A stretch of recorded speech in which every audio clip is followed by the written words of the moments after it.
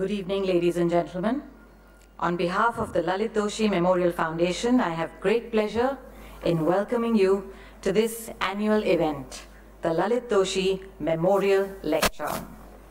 As a sign of respect for the event and the speakers, I request all of you to kindly switch off your mobile phones or you may put them on silent mode, please. Thank you.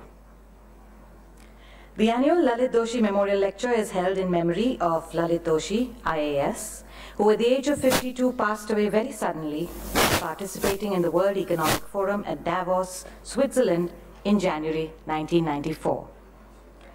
I will now introduce you to the distinguished persons on the dais today.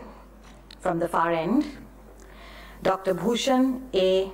Gagarani, CEO, Maharashtra Industrial Development Corporation, MIDC. Mrs. Pratima L. Doshi, Chairperson of the Foundation. Mr. Jageshwar Saharia, just retired Chief Secretary to Government of Maharashtra.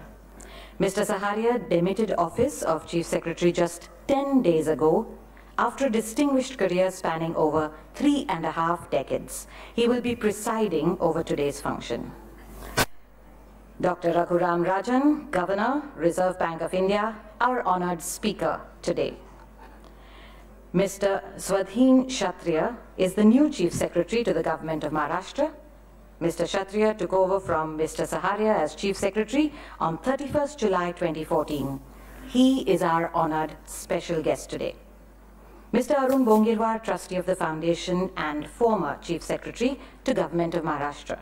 And Mr. Bharat Doshi, Trustee of the Foundation.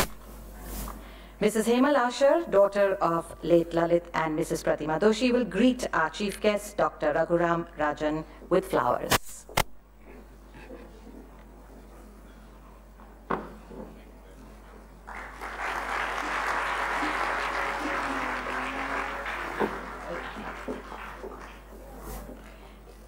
Mr. Arun Bongirwar will now deliver the welcome address. Mrs. Pratima Doshi, chairperson of the foundation, our honored guest, Governor of Reserve Bank, Dr. Rajan, my colleagues Saharia, Kshatriya, Bhushan Gagarani, and my colleague on the trust, Mr. Bharat Doshi, friends and admirers of late Lalit Doshi. Today we are 20 years old. Over the years, this lecture series has got recognition, has got reputation, and has got appreciation by people like you in the audience. This is only because we have matured. You'll ask me, what do you mean by maturity?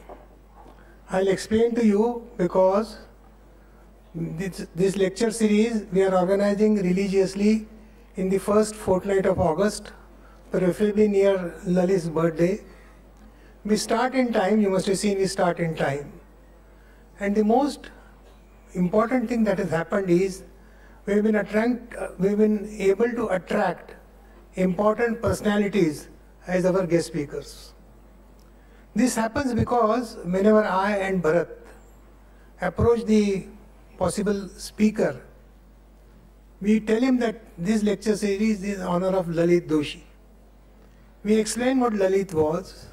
Most of the guest speakers knew Lalit.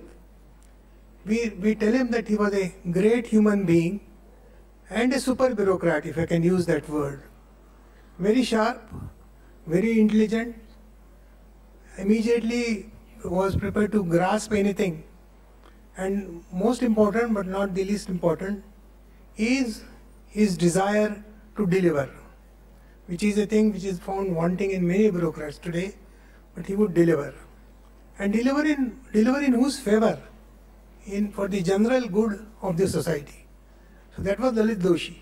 So whenever we say that, sir, we are organizing this lecture series for late Lalit Doshi, people gladly accept this. The foundation has been also doing some other work in his uh, primary school in Kutch. We have started some scholarships In St. Xavier's College, where he did his graduation, we have an elocution competition. And from the foundation, every year, we distribute scholarships for needy boys. We also give medical aid to needy persons. That is what foundation is. I had nothing much to add.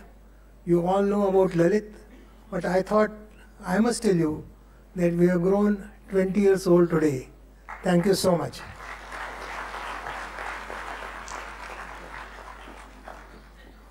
Thank you, sir. I will now request Mr. Bharat Doshi to introduce to us our speaker for today, Dr. Raghuram Rajan.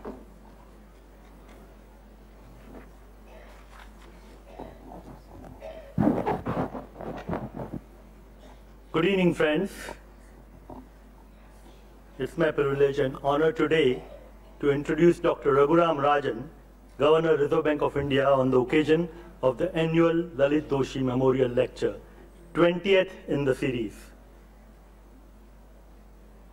Sir, I thank you for remembering your commitment which you made last year and agreeing without a moment's hesitation to deliver the 20th Lalit Doshi Memorial Lecture within a year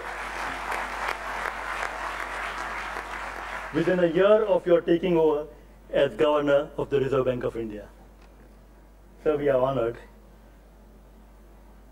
While introducing our distinguished speakers, rather than reading out their resumes, I prefer to blend the generally known achievements with some lesser known insights and aspects I thank you again for giving me 15 minutes of a personal chat, a time for a personal chat, which added to this introduction.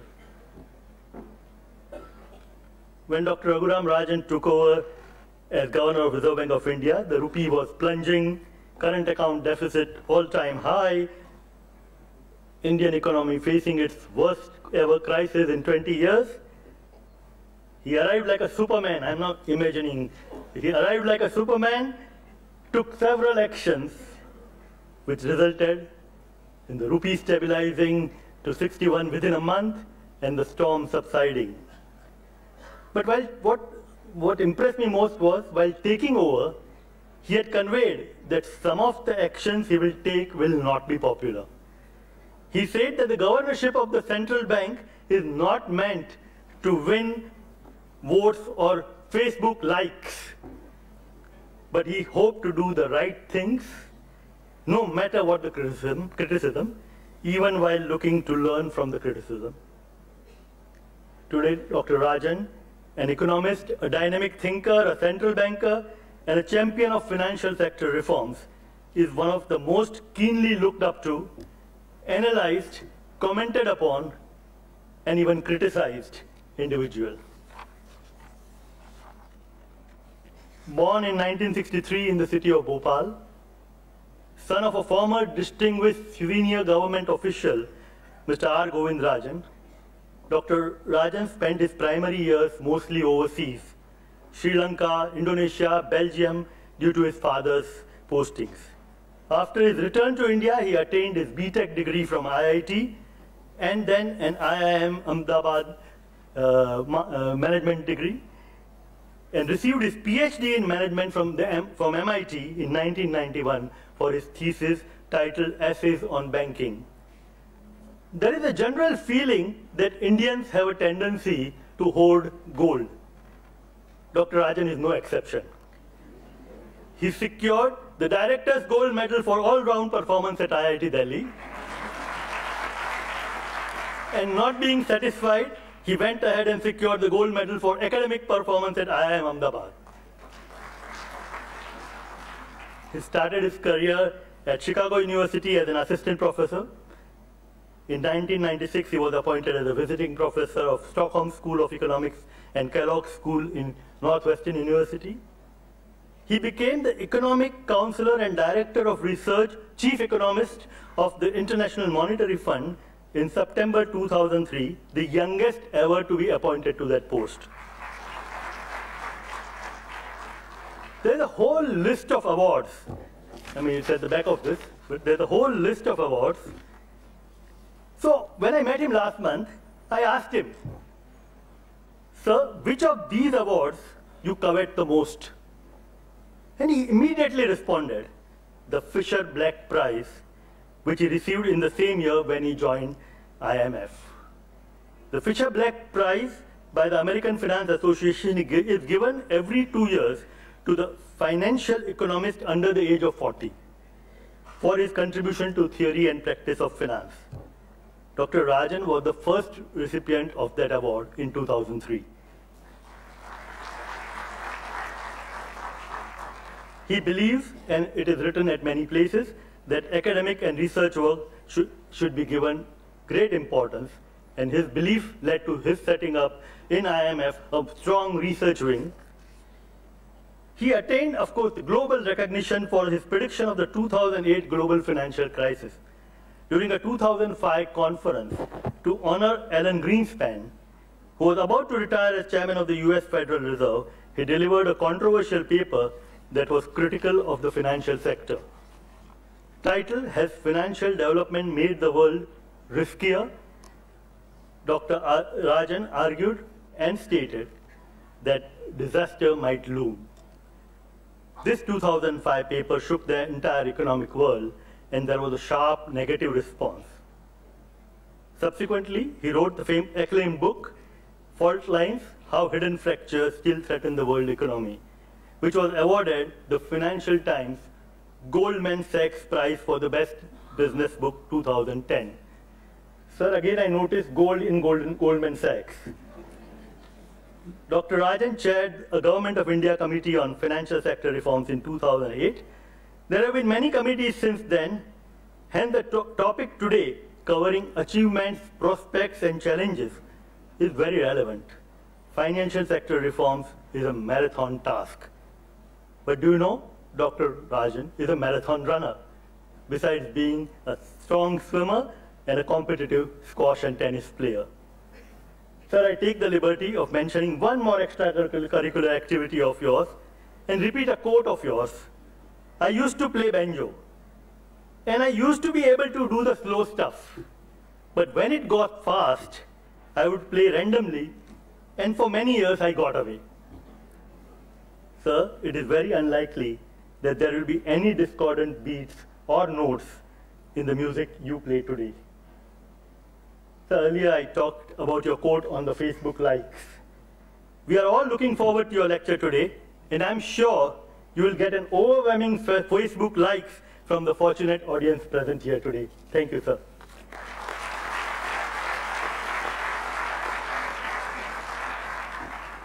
Thank you, Mr. Doshi. Today's chairman of the function, Mr. J.S. Saharia, will deliver his remarks. Please give him a warm welcome.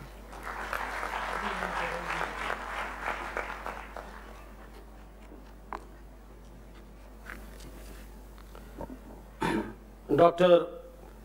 Rajan, all the distinguished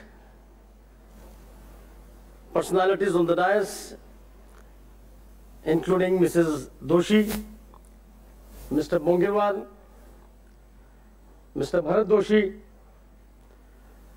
my dear friend and my successor, Sri Swadhin Kshatriya, Sri Gagrani, and all the distinguished invited guests for this wonderful evening, which we are going to witness shortly. As, as was mentioned earlier, I handed over the charge to the Chief Secretary about 10 days back, and Mr. Swadhin Kshatriya has taken over from me. When Mr. Bongirwar and Mr. Doshi came to me about four months back, I told them the same thing the first week of August, or first fortnight of August, I am not sure whether I'll be there or not. But they were kind enough, and they said that you have to preside over the function, whether you remain the Chief Secretary or not, and I am thankful to them for being present on this fine evening and getting an opportunity to listen to Dr. Rajan. Dr. Rajan and myself are from the same institute.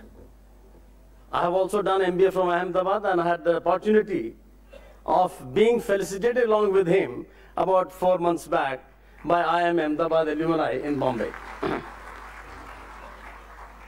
I'm really happy and also proud that an alumnus from IIM Ahmedabad has reached the chief position as the head of the central bank of this country.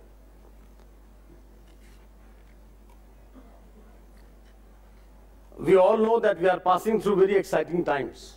Things are changing very rapidly, both in the political arena and in the economic sphere. I am sure the leadership which Dr. Rajan has provided will take our countries to the new heights, especially in opening up the sectors which we very badly require.